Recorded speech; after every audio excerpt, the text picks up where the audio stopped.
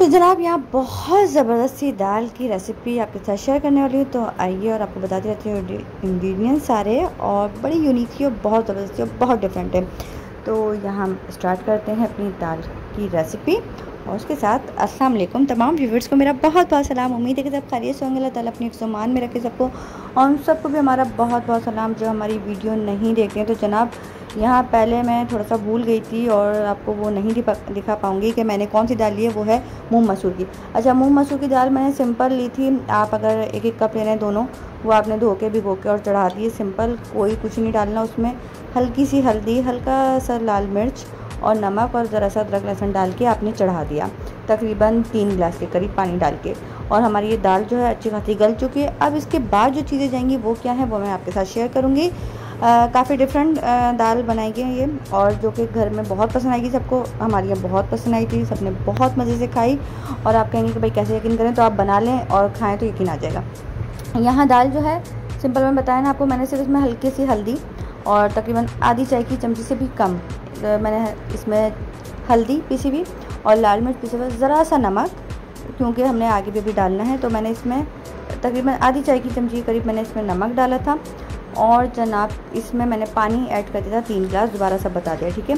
अच्छा अब उसके बाद यहाँ जो है मैंने आ, मसाला हम तैयार करेंगे वो है इसमें आ, एक चौथाई हिस्सा चाय की चमची का इसमें मेथी दाना कलौजी ज़ीरा सौंफ राई और साबुत मिर्च। साबुत मिर्च आपने देखा तीन से चार मिनट डाली हुई है।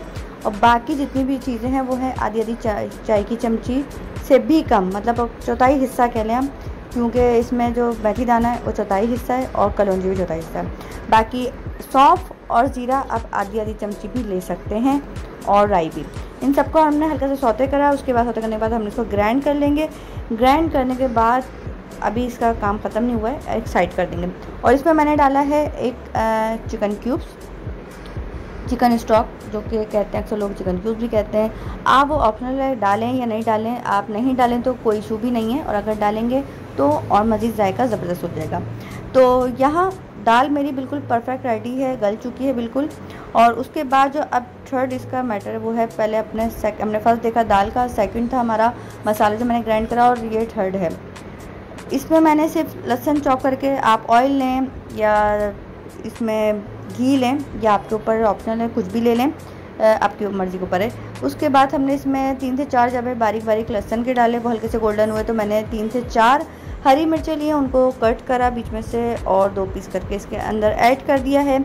उसके अलावा अब इसमें मैंने डाल दिया थोड़ा सा कड़ी पत्ता।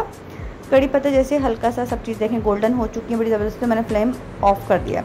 क्योंकि वो ज़्यादा जले ना, अभी हमने इसमें मसाला भी ऐड करना है। और ये वो मसाला है जो कि हमने ग्राइंड करा था, सौते हल्का सा करके। और ये देखें मैंने सारा ही डाला कोई नहीं रोका क्योंकि हमने जितनी क्वांटिटी मैंने ली थी वो काफ़ी थी। तो यहाँ मैंने हल्का सा ऑयल में डाला और ऑयल थोड़ा सा दोबारा मैंने फ्लेम ऑन कर दिया था। और ऑन करने के बाद अच्छा यहाँ जो मैं डाली हूँ, इसमें कुटी हुई लाल मिर्च थोड़ी सी अगर आप ना डालें तो कोई इशू नहीं है और अगर डालें, अगर आपको स्पाइसी ज़्यादा चाहिए तो आप ऐड कर सकते हैं। क्योंकि इसमें मसाले आप देखें, बहुत ज़्यादा नहीं गए थोड़े थोड़े लिए सब। और ज़रा सी मैंने हल्दी इसमें डाली है, तकरीबन आधी चाय की चमची से भी कम। मैंने इसमें हल्दी ऐड करी है और इन सबको मैं अच्छे से मिक्सअप करूँगी थोड़ा सा तीन चार मिनट के लिए। और उसके बाद जनाब ये सारा हमारा एक एक तरह से बघार कह लें, वो अब जाएगा दाल के अंदर। और ये दाल के अंदर डालने के मिक्स हो चुका है और हमारी दाल हो गई रेडी अब आप ऊपर से इसमें गार्निशिंग के लिए हरा धनिया, हरी मिर्चें कट करके डालें, अगर चाहें तो गरम मसाला डालें और वरना ना भी डालें। और भाई खाएँ गरम गरम दाल, चावल और सलाद का अच्छा सा कचुम्बर बना के। और और वीडियो पसंद आए तो ज़रूर लाइक करिएगा, चैनल को सब्सक्राइब कर दे दुआ में याद रखिएगा। तब तक लिए इजाज़त दीजिए। अल्लाह हाफिज़।